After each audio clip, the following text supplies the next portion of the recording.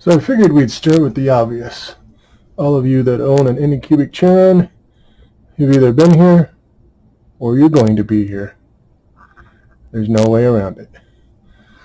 So, my original cable, shorted out. TO sensor error, sensor error, hot end not working. And it's because the end, near the hot end, bends too much just a constant doing this. These are a little teeny tiny. You can kind of see them there. They're like 24 gauge wire. I mean, they're pretty cheap. I get, you know, there's, I don't even remember now, two, four, six, I don't know, you can count them. I remember. I think there's 24 wires in there. I could be wrong. Could be 20. I don't remember. Anyway, so kept getting the error. You can see by the electrical tape. I made my own.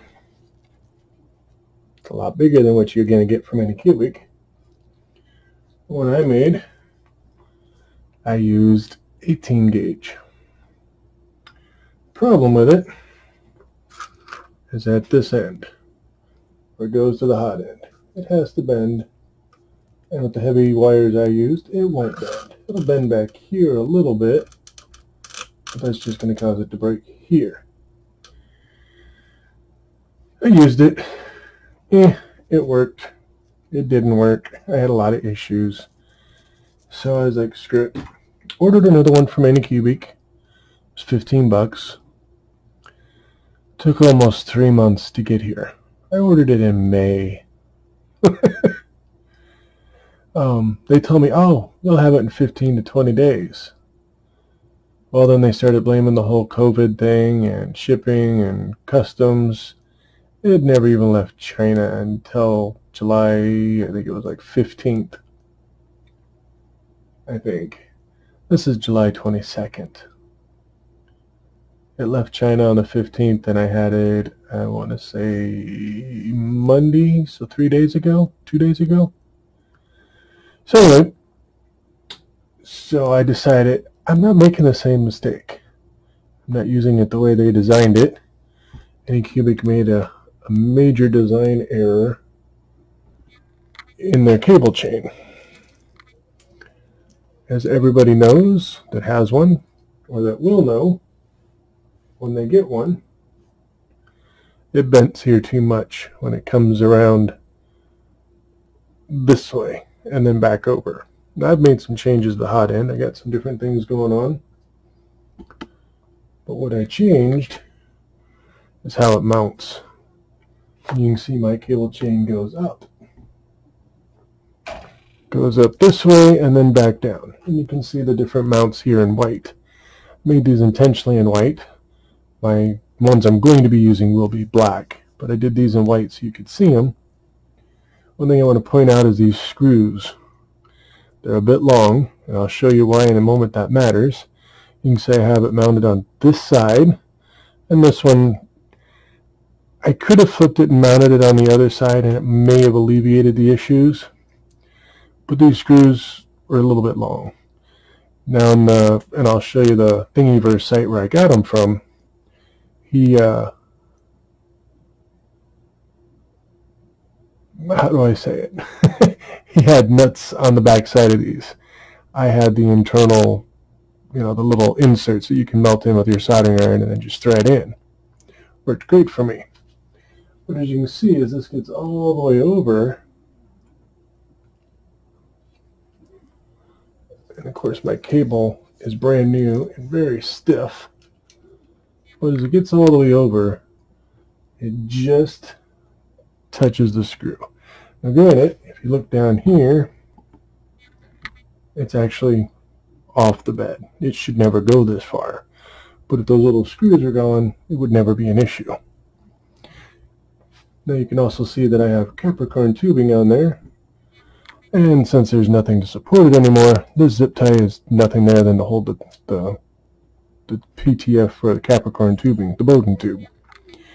And it can go full length until it clicks.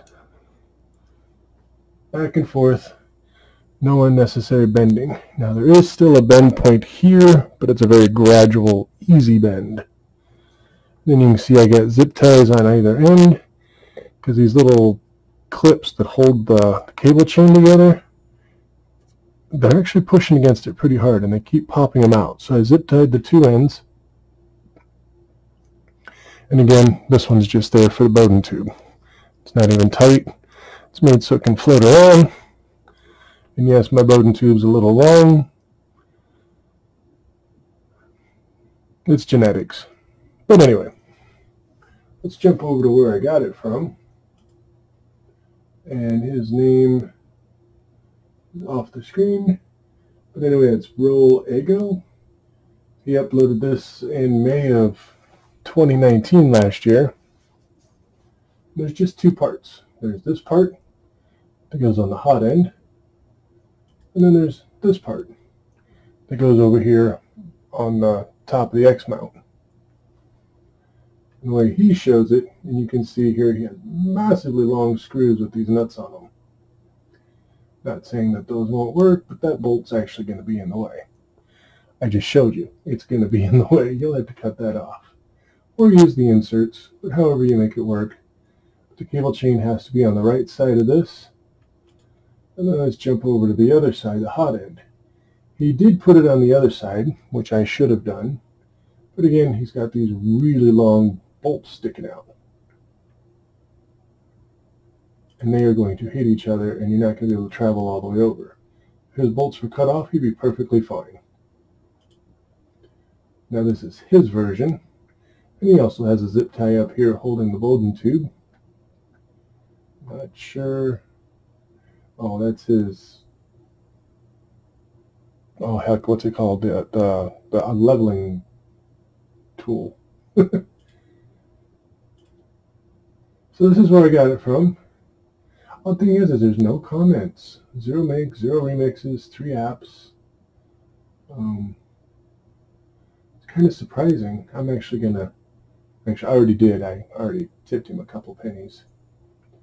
Here's a very short little summary, you know. Doesn't say a whole lot.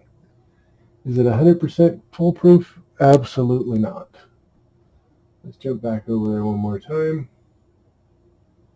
if my mouse would work.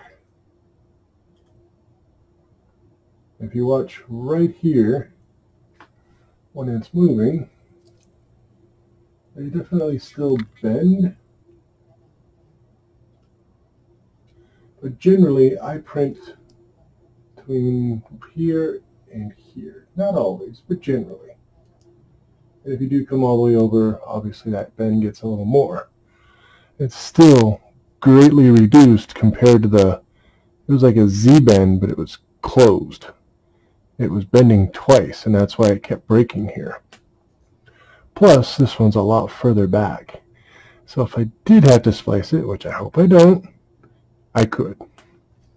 And yes, I've already ordered another cable after I realized it was going to take three months to get it.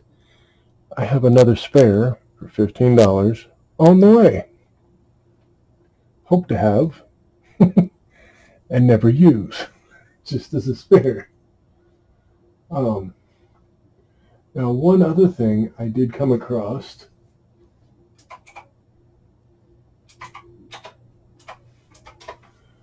that really got my attention. Uh, let me see, is this it? No, oh darn it. I'm gonna go ahead and pause this. Okay. The other thing I wanted to show um, that I just recently came across, didn't even know existed out there, was this BIQU B1 printer. Yeah, it's bright pink. Don't know why. Well, whatever. It's an Ender 3. It's a clone of an Ender 3. That's what it is. Except for one huge big difference other than being pink. They like pink. I don't know. I really don't have anything against pink. This. It uses a sub-C connector on the hot end and on the, the bottom part of the, the main computer plugs in with a sub-C cable or Type-C cable. It also has you can plug in a BL Touch and the sensor filament, just plug them in. Don't have to open anything, don't have to program anything, it's there. This is what goes up to the hot end, plus the Bowden tube. That's it. Runs two fans, the hot end and the thermistor, the BL Touch, and there's a bunch of LEDs in here. They show you.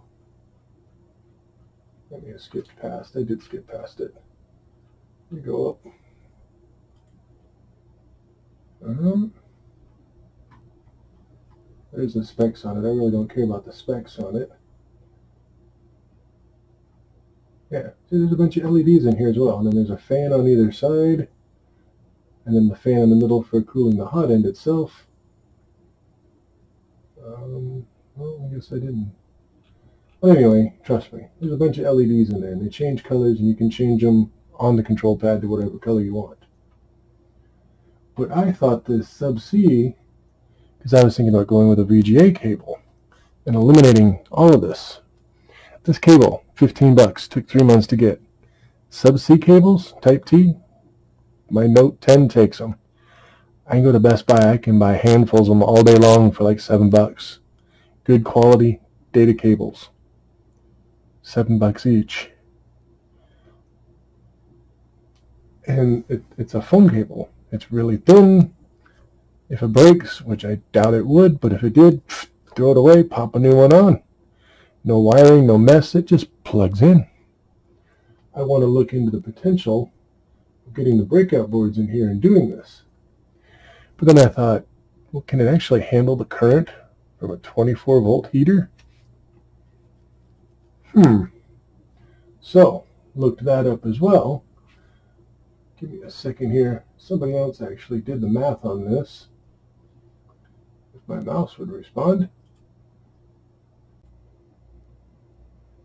Okay, so on a, on a YouTube video by Teaching Tech, and I'll go back after that in a moment, the main part here is they're talking about the sub-C uh, cable.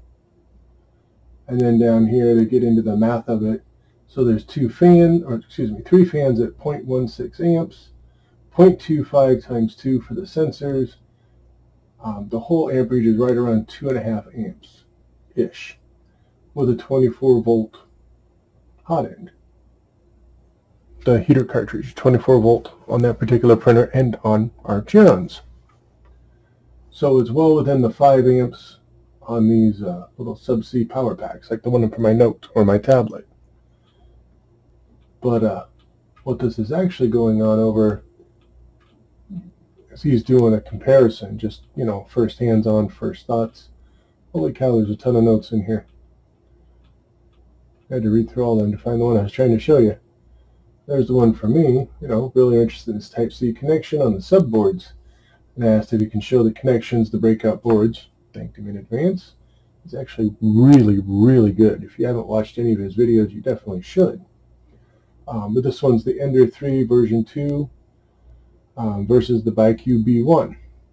And he's just doing, you know, first impressions, not a real in-depth, you know, review of either one. Just kind of, hey, this is what I got, this is what it looks like, this is what it did, and then he's going to go into it. What I'm curious about is this sub-C cable. I want to see the breakout board here and on the back of the printer. Is it something we can just buy the parts and maybe solder in and use on these and then get rid of this whole damn cable system?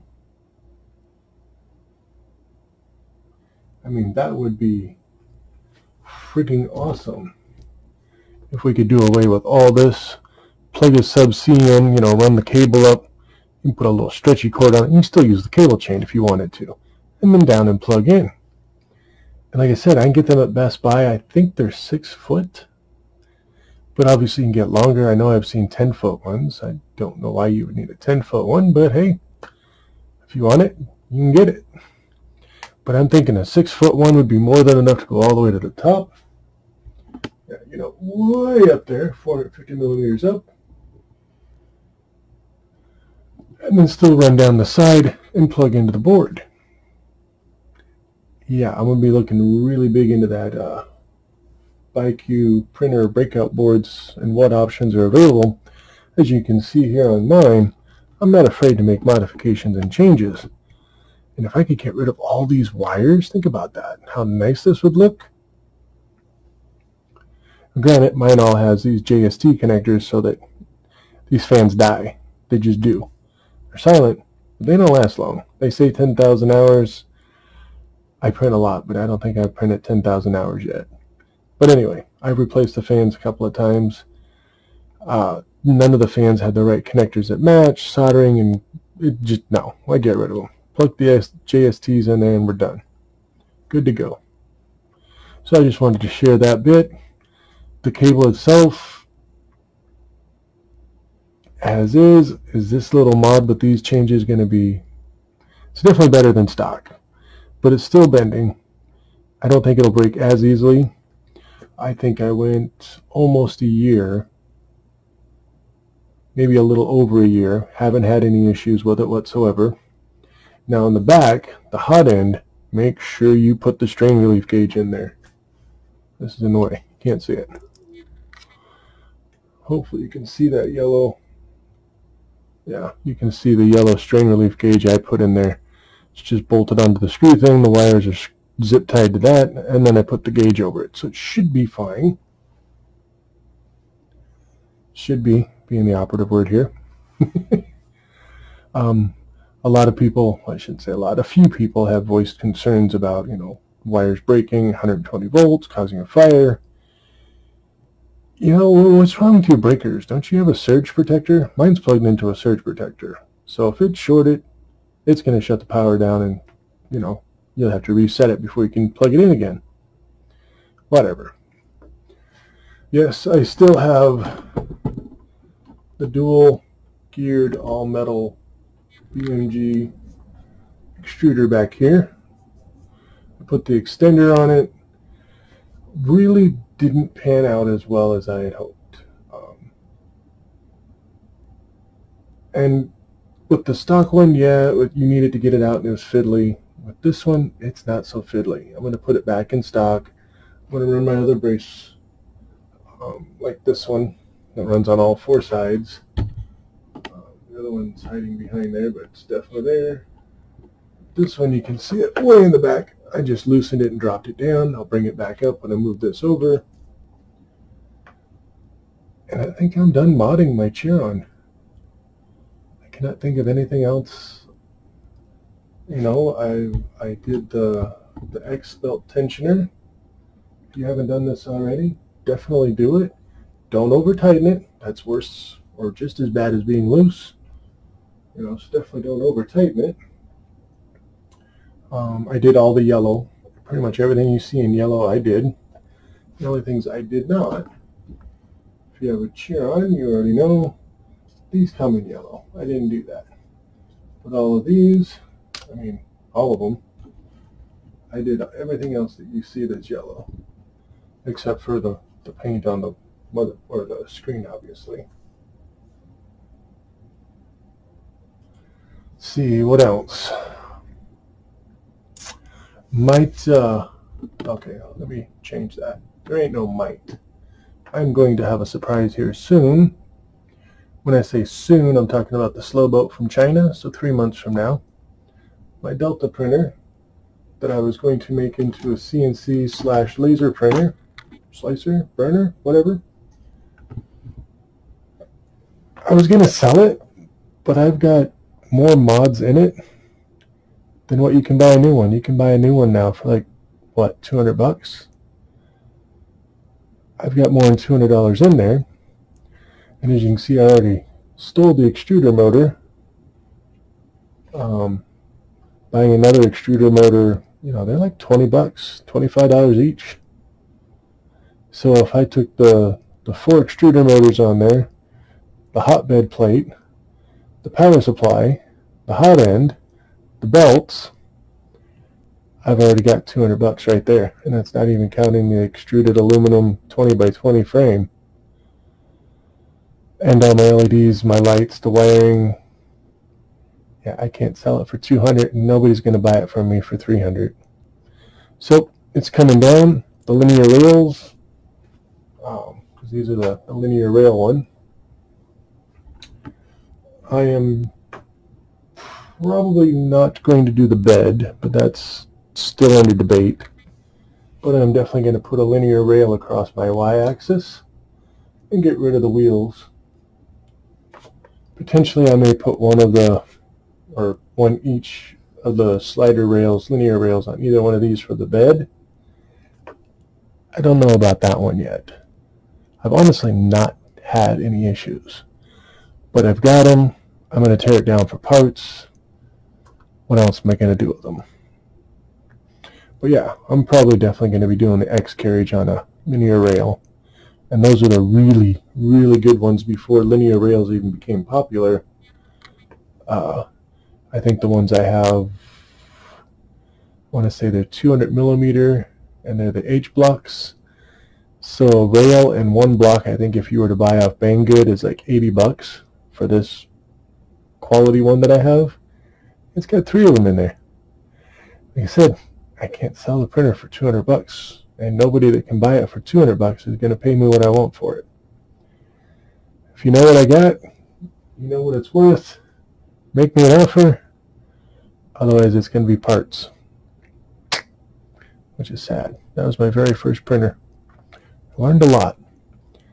Not saying not to, but getting a Delta printer for your very first printer, I don't recommend that. learned a lot. None of it applies to my Chiron or any other printer I'm going to get. Um, I think the next one I want to get, I've gone from a Delta to a Cartesian. I think the next one I want to do is a, a Core XY. Um, so yeah, if my Delta printer's not over there, I would have room for another printer, wouldn't I? I have to see what happens. Oh yeah, and then all my, uh, I can't see them up there. All the bracing I did. Let's see if I can zoom up and see that one. Yeah. All the bracings I did on all three towers. Did a lot of work, a lot of modifications to that printer. It prints fabulous. It's just, you know, it's a 230 millimeter circle. And I think it only goes 200 millimeters high. No, it goes actually, it's like 187 millimeters high with the bed changes I made with the hot end and stuff. Because it doesn't actually come with a hotbed. So I think it's like right around 187 build height. And then a 230, no, 210 millimeter circle. It actually prints very well. I don't have any problems with it at all whatsoever. But back to this cable chain. I'll be trying this out. Obviously, those of you who watch my channel are going to know if I have any issues because I'm going to be a bitching. But uh, the stock one lasted just over a year.